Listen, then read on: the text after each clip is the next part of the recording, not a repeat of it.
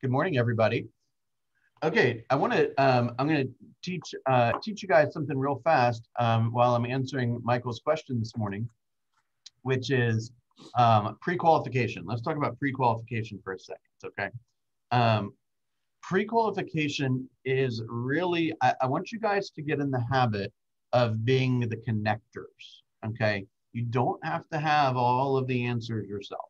Okay, you are not expected to know about every down payment option, every loan program, every minimum credit score, all that kind of thing. That's not your job.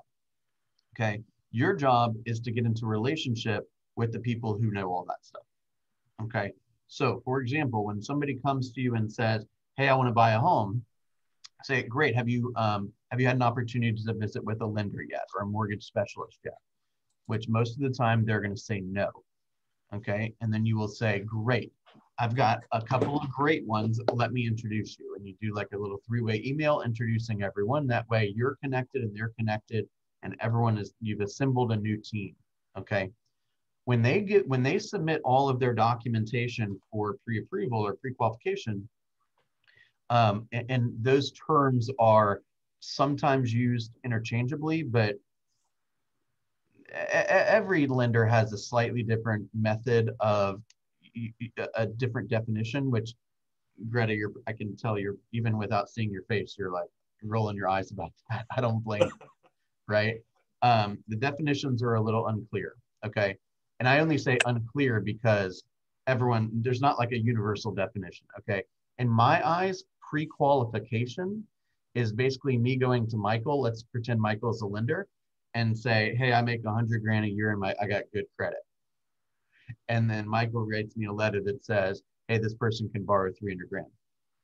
Okay. Pre-approval is when I show the man the documentation, he runs it through the machine and says, you can go to 300 grand, right? So sometimes you might see pre-qualification on the screen, on the, on the letter. Sometimes you may see pre-approval on the letter. Whatever you see, the good rule of thumb is to call that lender anyway and introduce yourself. Say, hey, we're going to be hopefully working together with Joe and Sarah, and um, you're telling me that they can afford uh, 300 uh, to borrow $300,000. Just wanted to check. Um, have you looked at all their documentation yet? And they'll tell you everything you need to know based on that answer. So they will say, oh no, they're impossible to get a hold of, and the guy's only told me he has decent credit, you know, roughly what his income is.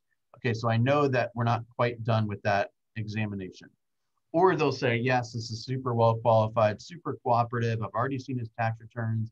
He's he's super organized. It's going to be a simple deal, guys. Right? So you're going to find out everything you need to find out based on that question.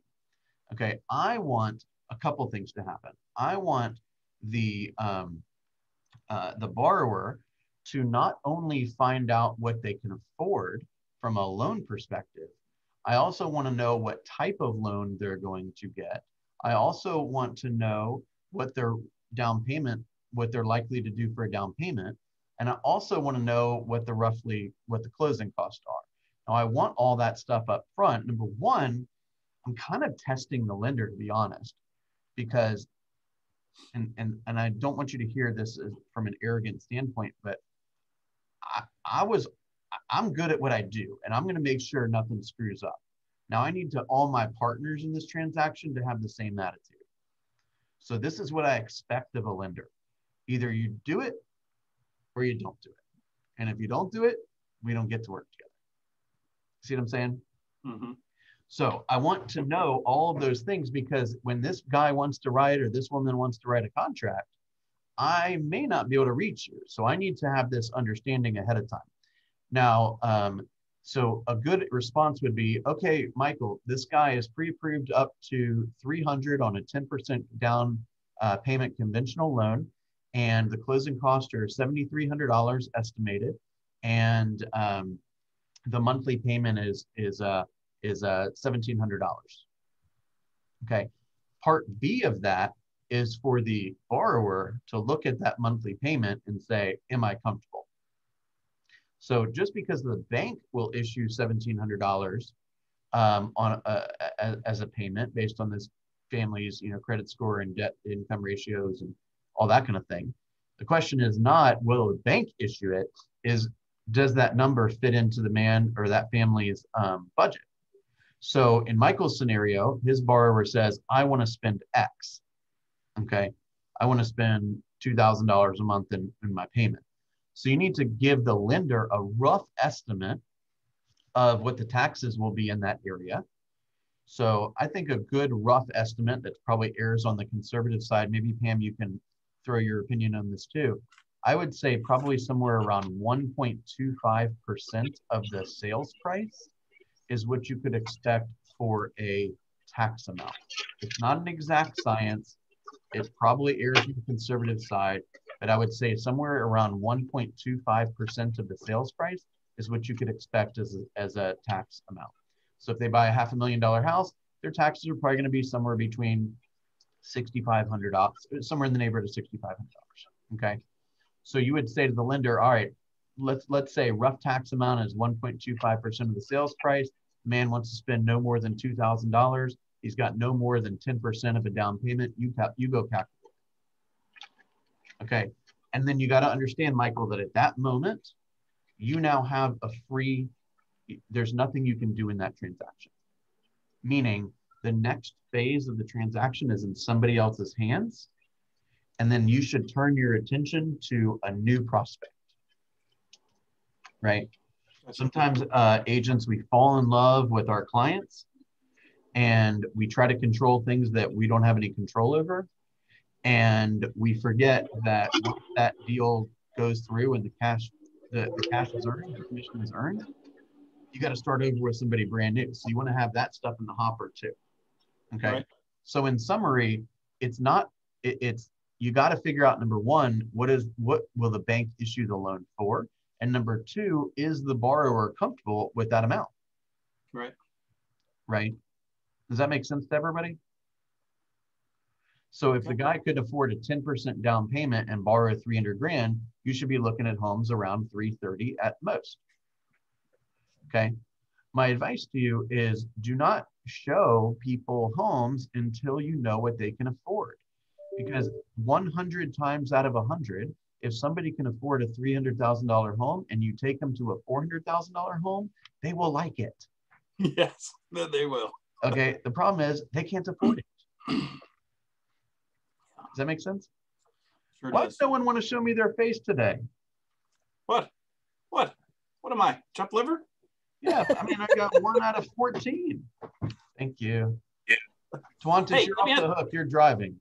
Can I ask you one more question uh, sure. about my my friend? He is tall. He is like almost seven feet tall. Um, former semi-pro basketball player. He really wants to find a house that has large architectural features. He doesn't want to have to duck down every door frame. So is there something when I'm searching in MLS, is there anything that that might indicate anything like that that I could I, I could uh, key on, look for? Not um, really. I was going to say, Pam, do you want to answer that? Yeah, not really. Unfortunately, and also something like that, if you're trying to look, if you're trying to, you know, set up his search or look on it, you know, unfortunately, you're affected by how well the agents enter information. Yeah, yeah. And a lot of them don't enter very much. Um, you know, there's there's a lot. So I I I tell clients I prefer to cast a wide net and then we can look at each individual home in that wide net and narrow it to narrow it down. Yeah. Um, it's going to be tough, you know, the door frame issue. That's a that's a tough one. Um, you know, um, because it it's at and I don't know if that's you know his price range, but the the taller door frames I've seen have been in more recent builds. Yeah, you were you were going in the exact same direction I was going. Particularly if he's in Sandy, if he's looking in Sandy Springs. Okay. Right. Did you know? Did you find out if he's looking inside the perimeter or outside the perimeter? He says he doesn't want to be too far outside. Oh boy. So that's going to be an expensive house. Okay. because inside the perimeter Sandy Springs, you're looking at a bunch of 1950s, 1960s ranches, small homes, small closets, old and the owners of those properties are in this constant struggle to debate on whether they have a tear down or whether they want to plow money into it. Mm-hmm. Right. Because, you know, especially over near like High Point and Glen Ridge and some of those properties, like they've got 400 400 to $450,000 tear downs. Right. Right. And if you go drop a hundred grand into it, you may not see that back. You know, and so it's a tricky market to be in. Um, and more than likely, if this guy is a seven footer and he needs, uh, you know, more architectural finishes and he wants, you know, big ceilings and all that stuff, this, this guy may be like an eight, nine million plus. And if he can't afford it, um, he may end up being in um, like the the community that I just sold my townhome in like last summer or earlier this year, like super high ceilings, but he's probably going to be in a townhome and he'll probably spend you know 500 or so. So the big thing right now is let let's figure out what he can afford. Right on. Because what he what what he and wants then- and what he can afford are totally separate. Oh yeah. And then I would look at maybe seeing if you can talk to a contractor who could tell you if it's possible to enlarge those uh, doors, you know, the make them taller doors. I mean, they have to move headers up and that sort of thing. So you need more than a eight foot ceiling, you know, but that might be another alternative. That's right. That's right. Um, but remember that generally speaking, the closer you get to town, the more expensive of a property it's going to be. Um, particularly if you're over near like Chastain or you're over near like Riverside or something like that. I mean, he's if unless he's a million plus, he's not going to be over near Riverside. No, he's not quite there. Okay. Do you know what he what he does for a living? Um, he he works for the wireless telecommunications industry, uh, finding uh, cell tower sites. Uh, Okay, so he uh, probably makes a hundred to one hundred fifty thousand dollars a year, right? yeah, maybe a So he's little probably gonna he's probably gonna borrow like four hundred grand. Yeah, his his wife works full time too, so Okay, you know, so I mean, he's probably not a million dollar buyer. he is not. Yeah. Um, so by the way, if the man ends up not liking, let's say for example, he's a five hundred thousand dollar buyer, and he looks to see what um, five hundred thousand dollars will buy him, and he's not overly impressed, then what he might need to consider is a townhome uh, or a condo. And when you consider townhomes and condos, you now have a new expense that needs to be factored in, which is HOA fees. Right. He's in a condo now and wants to get out of that. He's he's really looking for his own house. So he may just have to go a little farther outside of the perimeter than he wants. Well, it's it, it all comes down to personal preference, right? Would you like would you rather own, let's say, a five hundred thousand dollar, you know, pretty much luxury townhome near Chastain, or would you rather live in a palace in Lawrenceville? Right? It's it's all up to you, right? They build the palaces in Lawrenceville because some people like the palaces in Lawrenceville, and they build the luxury townhomes near Chastain because somebody would rather have that. You see what I'm saying? Yeah. So it all comes down to this person's lifestyle and what their preferences are. Yeah. Okay. Any, um, we kind of hit on a number of different topics there. Was that helpful for you guys? Do you have any follow-up questions on that? That's super helpful for me. Thanks, Bill. Beautiful. What was the question? I'm sorry, I, I missed it. Uh, we were just talking basically about, um, one was the difference between pre-qualification and pre-approval. And we were talking a little bit about the lending process with respect to making sure that um, all parties are aware of what the down payment, what the uh, monthly expenses are, and not only what the bank will issue in the form of a loan amount, but what the whether the client feels comfortable with that amount, whether the borrower feels comfortable with that amount. So it's very possible that the bank would issue, let's say, two grand a month, but maybe according to this person's budget, um, maybe they only want to spend eighteen hundred dollars a month. Well, if that's the case, then the number of dollars that they gave from a budget perspective, the lender gave, is too high. See what I'm saying? And the most important takeaway here is do not show property to people they can't afford. They will like it. And if you show somebody a $400,000 home and they can only afford a $300,000 home, it's downhill from there because you will walk them into the $300,000 home and they'll be like, this place is too small. It doesn't have enough updates, the blah, blah, blah, blah, blah. And they'll be pissed off the rest of their life. Make sense? Mm-hmm. Okay. And also, I'll, I'll throw this out there is We have no idea where these people are coming from. Okay. There was a day, um, I'll tell this story very, very quickly. There was a day I wa- I, I showed two, I had two appointments this day. First day or first first appointment, I showed a $700 a month, one bedroom, one bath rental in Sandy Springs. I walk the woman into the house, starts bawling uncontrollably. Okay, literally could not stop her. Okay, and finally I said, What's going on? Are you okay? And she says, I've never been able to afford a place as nice as this. Oh, Wow. We just don't know where these people are coming from.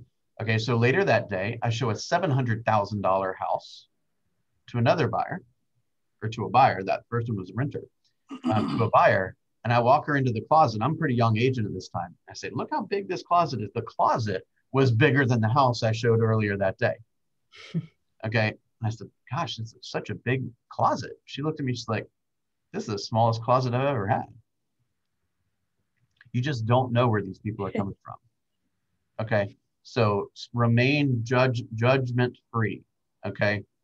Just ask a lot of questions. Be kind. Don't judge, and and get them what they want. Make sense?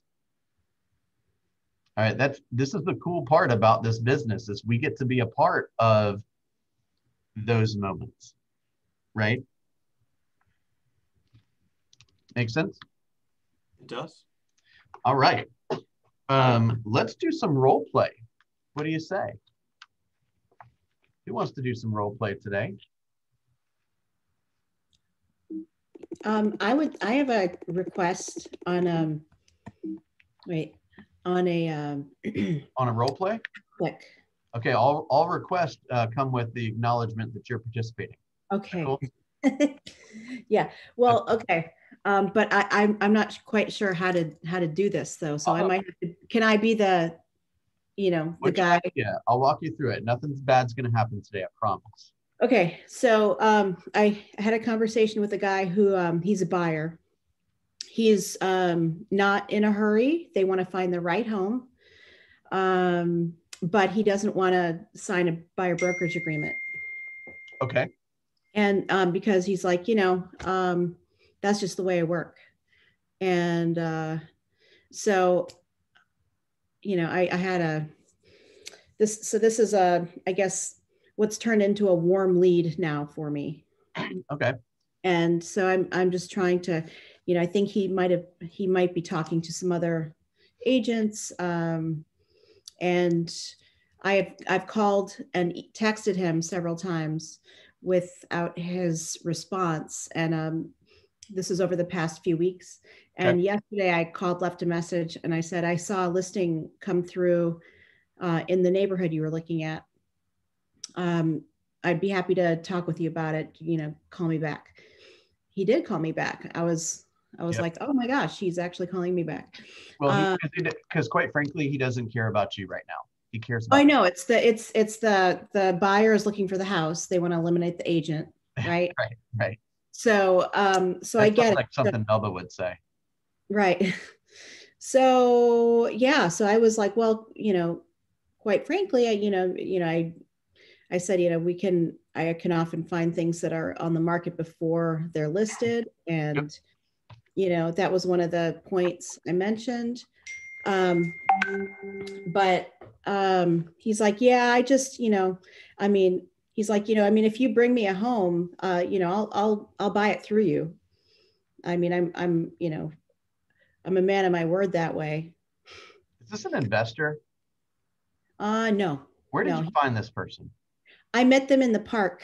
Um I so his mom lives in my neighborhood Okay, and he and his wife and their two sons, they they thought they would like to live in our neighborhood too.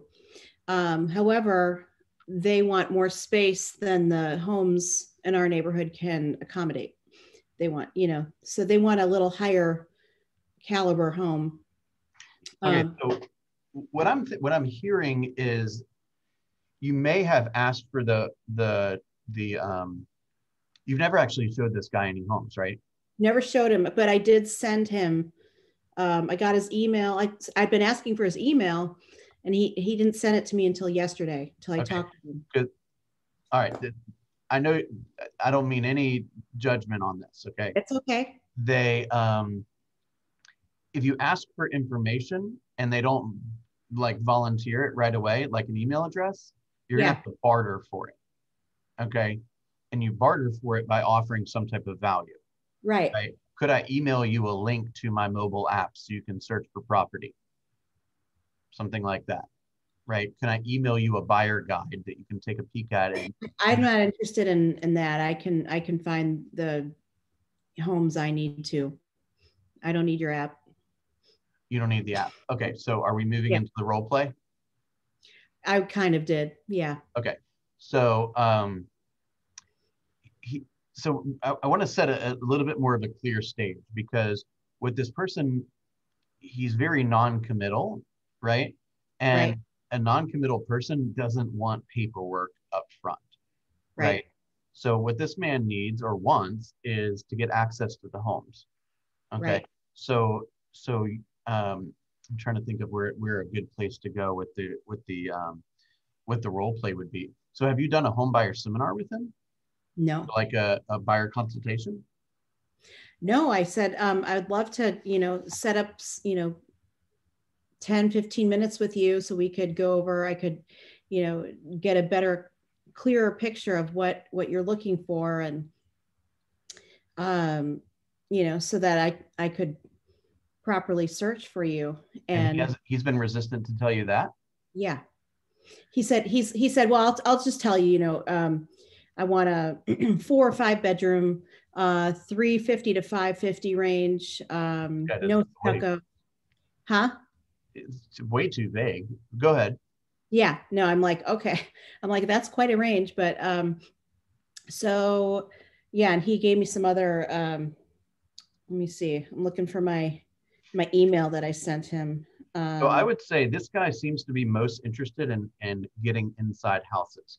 So I would say, look, um, Yeah.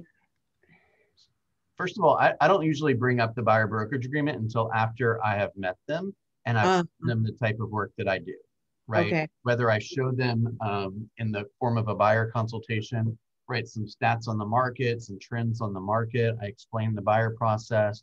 I ask them what's important to them about the process. I ask, hey, you know, tell me a little bit about your experiences working with agents in, in the past, right? How do I win with you? How do I lose with you? I want to have a buyer consultation before I pitch the paperwork. right. So I Okay. kind of put the cart before the horse. Just a little bit, but it can be fixed. Okay. It, it I- can be fixed. It's not, All about failing fast. yeah, it's not, it's not tragic. Okay. So if this guy is resistant, he, he, outside of his commitment issues and probably a bunch of other issues, um, he, he's probably had a poor experience with an agent in the future in, or in the past. So I might ask him questions like, so tell me a little bit about how you've um, worked with agents in the past, Yeah. right? Okay. Um, and by the way, you know, what's the most important thing that you'll be you'll be looking for in an agent? And this guy might say, um, well, I'm going to work with the agent that sends me the home. Say, great. So tell me a little bit about the home because I will be sending you several homes every day until me and you sit at the closing table to get together. Well, you said um, I don't I don't want a, a I don't want a daily emails of all these homes. Well, what, what is like- it, Corey? What, what- is it that you want? What, what is the what is the best way that I can help you right now? Right. Okay. Here, give give me something. Oh, um, well, I, I'm the buyer. I don't, I don't know what, where he's coming from. Um, Just- well, I just want talk the right crazy. That's because he's already crazy. So pretend like you're crazy. I just, I just want the best home. The, the, the, the, the, our forever, you know, my kids are two and four and, you know, we want to, our house right now is already the best in our neighborhood because we've all, we've upgraded it. We've added a 16 by 24 porch and, um, you know, the other homes near us don't have that, um, but we need more space. So, Okay, so Corey, what I'm hearing is you need more space, right? mhm. You're acknowledging and validating. I, I totally get that with a growing family. So what specifically are you looking for in your next house? Uh, yeah, four to five, four bedrooms, five bedrooms would be great. I need one for an office. Okay, great. So five So- bedrooms. And are, are you um, looking to stay in the same school district or is, is school district something that's Oh, on your yeah, we need a. Talk to me about we, that. uh, Yeah, three, uh, we need to be in the three zero zero six six zip code. Okay, So, um, and, um, so as far as space, I'd like to have between three thousand and, um, or thirty-five hundred to five thousand square feet. okay, so 3,500 to 5,000 square feet. You need to be in 30066. Now, um, have you been looking out uh, at, at homes that, that are fitting that description? Where, where are you finding most of your information right now? Is I that on a particular Yeah. app or on a website or where, where are you currently lo- looking? I have to ask him that. I'm gonna write Keep that one down. going. down. Let's role play it. Uh, Bill, Bill, know, I Bill, I just look, question. I s- I Yeah. see, What's up? I see, Bill, I have the I have the similar situation. I have two uh, two leads like that today. Um, seems to they what they do, they have the another agent too, and they talk with another agent. We'll get to that. Uh, let, let me, let me, let's finish the, David, let's finish the role play and I'm, I'm almost certain your, your question will get addressed, okay? Corey, keep going. okay, um, I forgot where we were. You All right. were, um, I was asking you where you're, where you're looking, where are you getting? your- Oh, um, yeah, you know, I I just keep an eye out. You know, I have Zillow, and you know, I have different um, uh, emails. You know, you know, different search results that I, I check Okay, frequently, and um, you know, so I look at that, and um, I mean, everybody's a real estate agent. I mean, you know, yeah, when I I met you, I was like, oh my gosh, another real estate agent. yeah, That's what, that's actually what he's because I was like, oh, because they said, um, I said, oh, are you guys neighbors? Do you live in the neighborhood? Um, I'm, I'm stepping out for a minute. I'll go back in. Um, and he's and they said, uh, well, no, my mom here, she lives in the neighborhood neighborhood, but we just love this community. It's just so family friendly, and we'd love our kids to to grow up in a a place like this. So we're actually interested in finding a home in, in this neighborhood. beautiful. Uh, Okay, so you're finding your data on Zillow and a bunch of emails and all that kind of stuff. So Corey, have you, have you seen any properties yet with a real estate agent in person? Uh, yeah, I've seen I've seen a couple. And, and were you working with an agent at that time? Was an agent the one that showed it to you or did you go at an open house or what? Um, I just um, I I don't know. You pick one. Um, I I just called the agent that was listing it, and um, they they showed it to me. Okay. And, and I guess you didn't like that property. You weren't ready to move forward. Yeah, it just wasn't. You know, it's just it's hard to find something around here that fits all our needs. Yeah. You know, you said everyone's an agent. There's a big difference between being an agent and working super hard to make sure that the agent um, delivers exactly the experience that a buyer is seeking. So tell me a little bit about what, what would you expect your agent to do for you?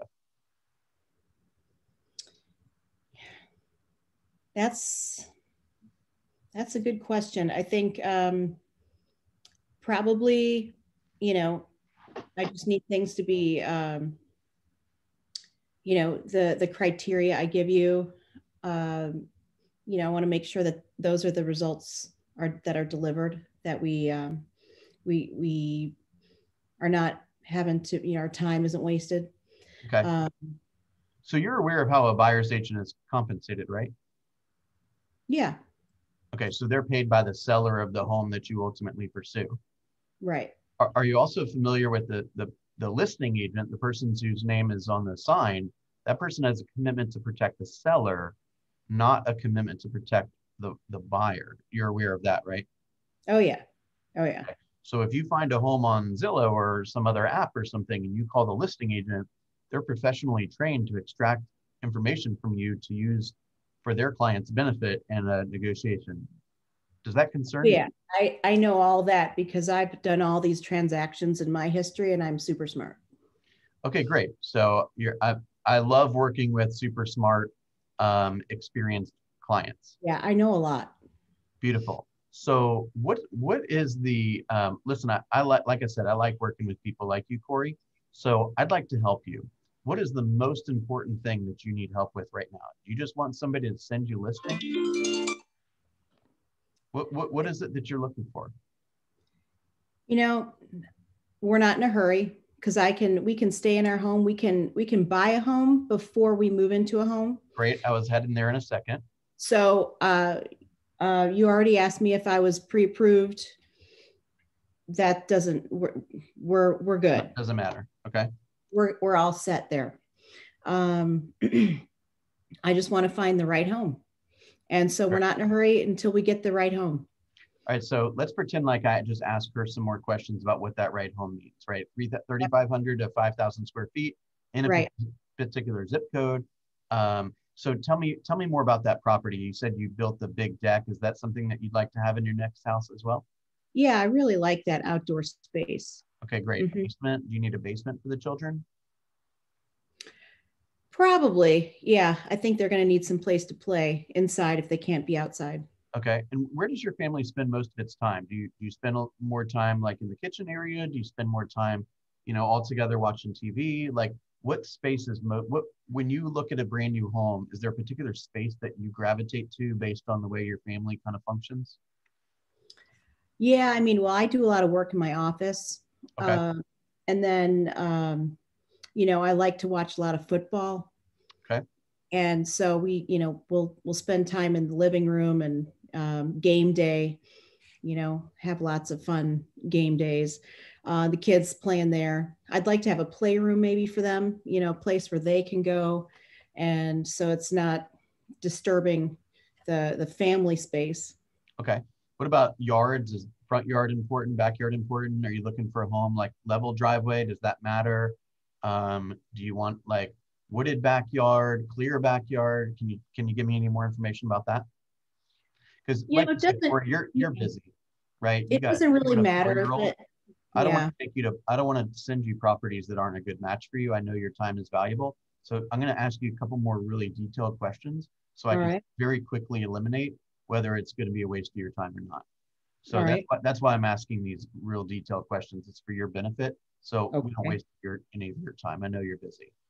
I got it. Okay. Okay. What about the kitchen? Yeah, big kitchen. You know, ideally updated, but you know, on the lower end, we might have to put in some work. Uh, on the higher end, I'll expect it to be exactly the way we want it. Okay. And, just to, rem- you're willing to move outside of this neighborhood. Okay. So as long as it's in 30066, is that right? Yeah. Um, probably, um, you know, maybe not the the Blackwell School District, but everything else, I think I could. we could- 30066, not the Blackwell School District. Yeah, I think so. Beautiful. So I'm, I just, I, I took a quick, uh, the, um, search on FMLS and I found there's only three homes that match that criteria right now. I'm available at two o'clock tomorrow, or we could do, uh, Sunday at 10 before the game starts. Just to quickly show you those three homes, we can knock them out probably in about an hour together. And, uh, you'll get a chance to see how I work and, uh, we can determine if we're a good match for each other. Very worst that'll that'll happen is you'll see the homes that the only homes on the market right now that fit your criteria. And we can decide if uh, if there's any um, potential of us helping each other out in the future. Would that be okay? Yeah, I'm gonna have to check with my wife.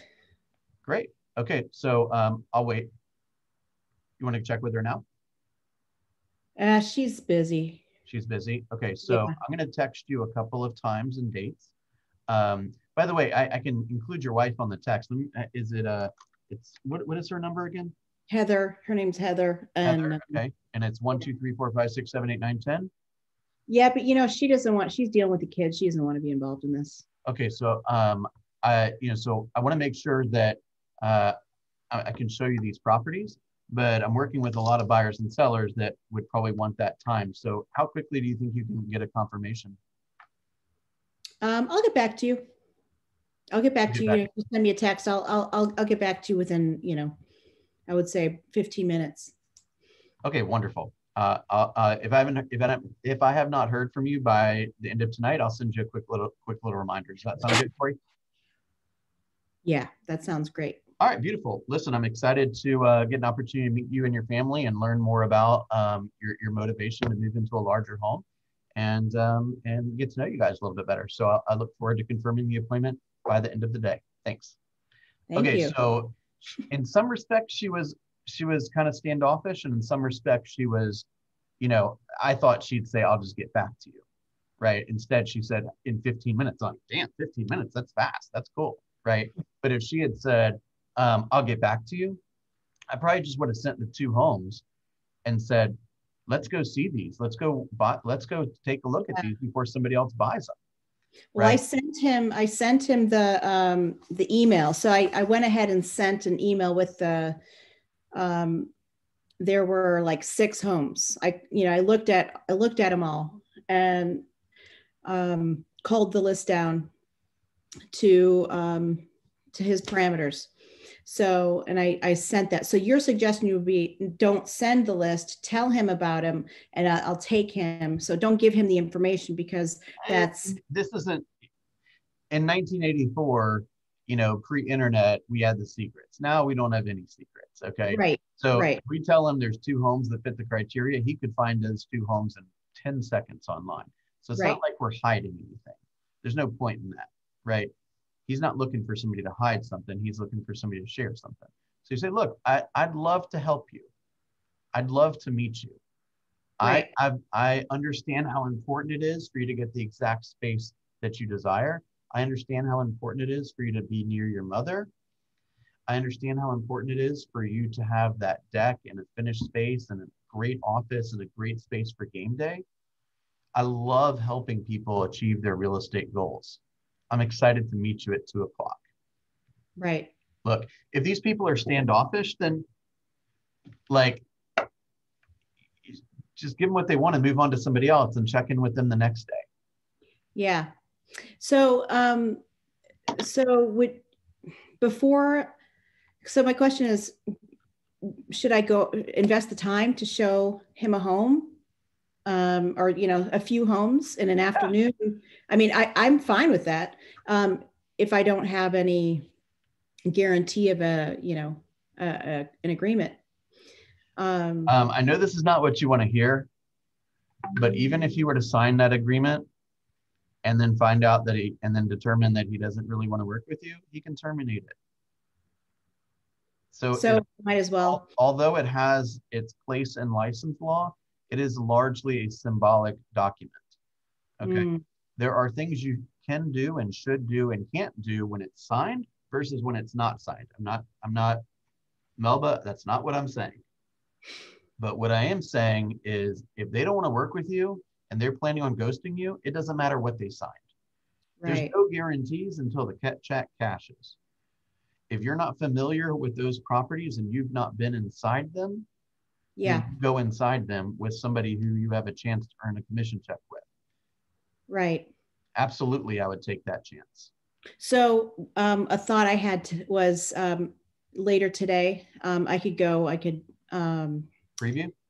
preview, take some, uh, maybe a quick video and send it to him or something. Love that. Um, maybe make a little compilation. Yeah. Say, hey, I was in the area. Um, I saw this home and I, man, I thought it was an awesome opportunity. So I swung by and I wanted to show you what the um, which room could be great for the big game. Yeah. Yeah. Sunday at 10, you'll be home by the time game starts. Mm-hmm. You know, it's just like doing like a tiny bit more, tiny Yeah. bit more than the next guy is willing to do. And to get specific with what what makes their heart, how they make decisions, right? They make decisions based on family space and games and office. Speak to the things that are relevant to them Right. and have some fun. Like if, if you take a cool little video and you see a property and the guy writes you back and says, I don't like you. I want to work with a man, or I want to work with somebody older, or I want to work with somebody younger, or whatever, then screw him. Let's go find a different client, right? So Right. have some fun. Okay. We're, we got to have a lot of at bats here. Yep. Thank you. Um, one other question. Um, so buyers agents, um, I had a conversation with somebody yesterday and they're saying is, you know, apart from right now in a seller's market, um, I, you know, in a seller's market, we can see how a buyer's agent is very helpful. Um, in, uh, in a buyer's market, is the same true? Yes. And If so, why? Well, a buyer's market, uh, I'm sorry, a buyer's agent is the person that is that is uh, hired to to um, represent and protect the buyer in the transaction. So just because it happens to be a seller's market or it happens to be a buyer's market, all, all that tells me is there's a lot going on in the transaction. The person needs professional representation.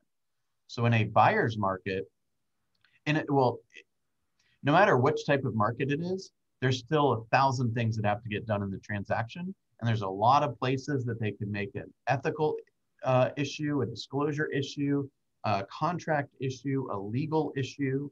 That's why you need representation.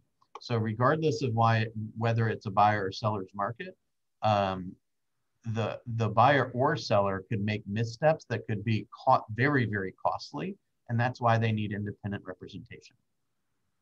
But yeah, well, of course they need it um, once they get to the transaction. But until that point, um, you know, until they find the property, like do they?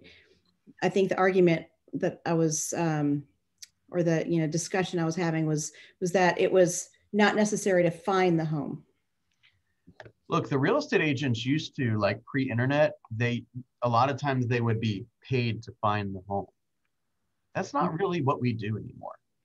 There's there's there's so many ways that the home can be found. Like if the buyer, if you're my buyer and you think that the reason why I'm getting a big check is because I found the home and you happen to be the one that found the home, you're gonna be pissed the whole time. Right. Okay.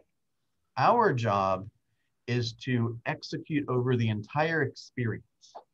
Okay, is to connect all the different vendors and professionals that are involved and make sure everyone in, does their job in a timely manner, that no deadlines are missed, that we analyze the market to protect your investment, that we finance uh, the property wisely, right? That you get great terms and a great price.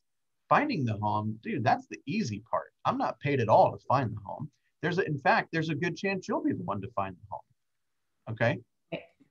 But if I tell you that during the buyer consultation, when you find the home and say, hey, Bill, let's go see this when I found it, then at the closing table, when I walk away with 10 grand, you're like, high fives all around. We found the home. We're a team. But if I let you believe that my job and I'm paid to find the home and you find the home, you're going to be pissed off the whole entire experience. Yeah. That's why you have to you have to teach these people what you do and what you don't do. Mm-hmm. Right? Make sense? Yeah. Thank you. That was great. All right, y'all. Um, don't forget Launch Mastermind today at one o'clock, one o'clock to two o'clock, right here. Um, we can talk more through these types of scenarios. Remember, uh, just a quick little note, David. I think we kind of covered some of the things you were talking about, but you you want to find out if they're working with another agent, and then even if they are, you might say, you know, have you committed in writing to working with that person? Have you signed a buyer buyer brokerage agreement? More often than not, they'll say no. Um, and you say, great. So tell me, what is the most important thing a realtor can do for you, right? Because what you're trying to do is figure out, um, is this, I'm going to do what you want me to do. And if that other agent hasn't asked you what's in, or hadn't asked you what's important to them, then they're obviously not going to do it. And so if I have a better idea of how to serve you better, then I will serve you better than the other person you're courting. And I will win. Does that make sense? Yep. But if you don't ask those questions, then it's a crapshoot. You don't know if you're winning or not. Make sense? All right, you guys. I'll see you at one. Thanks, Bill. Thank you, Bill.